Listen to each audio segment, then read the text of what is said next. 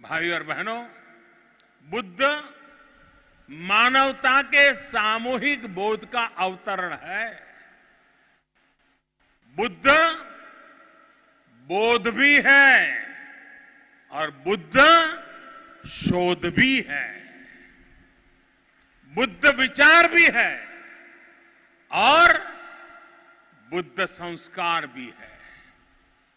बुद्ध इसलिए विशेष है कि उन्होंने केवल उपदेश नहीं दिए, बल्कि उन्होंने मानवता को ज्ञान की अनुभूति करवाई।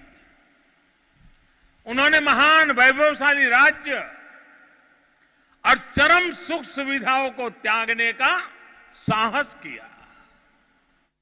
निश्चित रूप से उनका जन्म किसी साधारण बालक के रूप में नहीं हुआ था। लेकिन उन्होंने हमें यह एहसास करवाया कि प्राप्ति से भी ज़्यादा महत्व त्याग का होता है।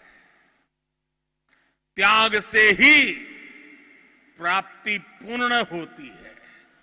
इसलिए वो जंगलों में विचरे उन्होंने तप किया, शोध किया, उस आत्मशोध के बाद जब वो ज्ञान के शिखर तक पहुँचे तो भी उन्होंने किसी चमत्कार से लोगों को का कल्याण करने का दावा कभी नहीं किया।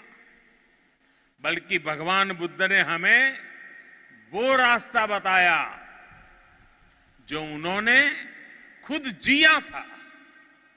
उन्होंने हमें मंत्र दिया था। अपदीपो भव भिक्षवे अपदीपो भव भिक्षवे परीक्ष भिक्षवो ग्राह्यम मद बचो न तू गौरवाद अर्थात, अपना दीपक स्वयं बनो। मेरे वचनों को भी, मेरे प्रति आदर के कारण ग्रहण मत करो।